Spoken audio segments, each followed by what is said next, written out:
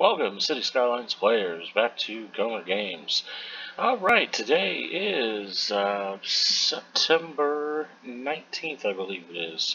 And I am uh, going over the loading screen mod one more time, uh, just because of the new update with the uh, plazas and the uh, uh, creator packs, and also the new free update that everyone received on PC and Mac. Uh, it's kind of messed up some of the uh, mods and some of the assets and stuff like that. Uh, so I'm going over the loading screen, um, the latest version, and uh, going over the loading screen mod one more time just so uh, we can correct some of our uh, saved games and obviously create some new ones. So go into the workshop and download the new one, and I've got it on here already. Um, it's loading screen mod revisited 0.6.1. Uh, improves the game loading process and you want to make sure you download that. We'll go into the workshop here in a minute so you can see the uh, the icon um, on the uh, mod itself. Uh, just enable that once you get into the game and then you want to click on options here and then you want to make sure this uh, try to recover from simulation errors. You want to make sure that is on. I believe the default is off. You want to make sure that it is on. And what that does is uh, when you're loading a saved game and you have an asset missing you have a building uh, any sort of asset whatsoever missing the loading screen will go through. It sees that it's missing um, if it's enabled and it's on your system, it'll go ahead and uh, uh, put it into the game itself. It'll turn it on and put it into the game. If it's not on your system or it's broken, it will just basically erase it from the map. So it's no longer there. So uh, that will save you an error and probably a crash um, from uh, the uh, uh, broken assets um, that are no longer compatible with the uh, with the latest update. Uh, everything else I would just leave. Well, all the rest of this is default. Uh, you want to make sure all these are on because that uh, basically is the reason why you're using a loading screen. And uh, we'll go over that in a minute, but you want to leave all those on, and all this other stuff is all default. I have not changed any of this. And then if you ever want to troubleshoot some assets that you're having problems with, um, this is where the uh, reports are saved. This is the directory that it's saved in. Um, so you can uh, go uh, go locate it um, and uh, go from there. All right. So what we'll do, um, let's go ahead and load a game here, uh, just so you can see the um, load, the new loading screen. And I'm just going to pick any Wolf Creek. I'm just going to pick a map and just start a brand new game. And uh, I don't have any assets enabled right now, so you won't be able to see that, but it works just like the old one. Um, Alright, this new one is great because it breaks it all down for you. Uh, this screen, this side over here, you'll start seeing the uh, the assets, the buildings, the prefabs load here and then you have the time elapsed, which is obviously the length of time that your game is loading. And then here's your custom assets, so any buildings that you downloaded from the workshop will load here. And then it will also tell you uh, failed and missing here. Uh, so that will be listed here, and then the colors are also the same too. So you have a, a failure, it'll be one, or however many failures you have, one, and then failed in red, and then it'll list that red one over here. Now obviously this is a continuous scroll, so it's only going to be on there for so long, but it will show up in that directory in that report I just showed you. So you'll be able to see that. Um, the uh,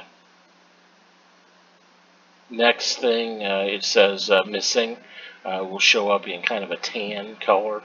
Um, that will uh, also uh, show up over here, and then it is a continuous scroll. And then we did have some information like this on the old version, but we have a little bit more. Uh, the old version just gave us the uh, uh, page file used and um, the uh, RAM used. And I think it was the system, not the game. So obviously I'm using a little bit of RAM uh, doing uh, recording and the page file is mostly just the the mods that I have but but it has the game RAM that's being used and then uh, the system RAM which I have 16 gig uh, right now 10.33 gig are being used. And 6 of that uh, 6.29 of that 10.21 is the game itself. And then obviously this increases um, as uh, as the game loads.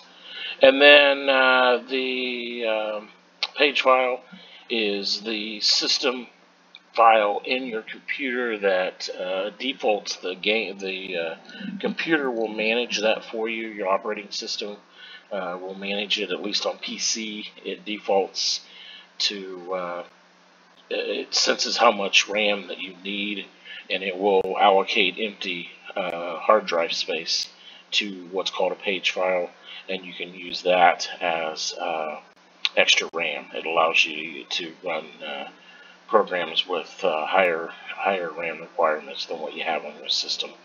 Um, there's a little bit of restriction on that because obviously it takes the RAM is uh, static, uh, it's all uh, electrical, and it's instantaneous communication. Whereas the hard drive, you know, obviously it's on a disk so the disc has to spin, the needle has to pick it up, has to read it.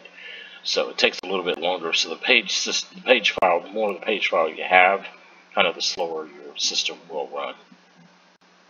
But it allows you to run and have assets and mods that you uh, normally wouldn't have, uh, normally wouldn't be able to use if uh, um, you just had the strict RAM with no page file at all.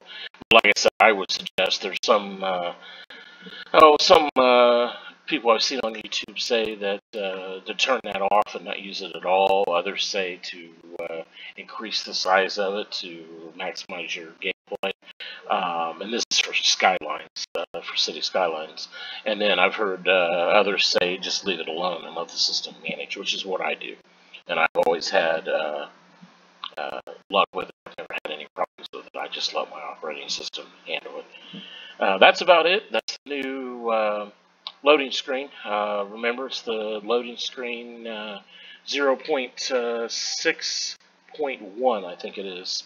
And uh, just search for that in the uh, workshop there. And um, download that. make sure you unsubscribe from the old one. And the new one will work. Uh, stay tuned for some more videos. I've been working on trying to figure out what mods were compatible with uh, this new update, so you'll see a video up here shortly. Uh, click on that, and uh, I'm going to go through some of the uh, newer uh, newer mods that are compatible with the, this latest update. Thank you. Have a great day. Thanks for the time.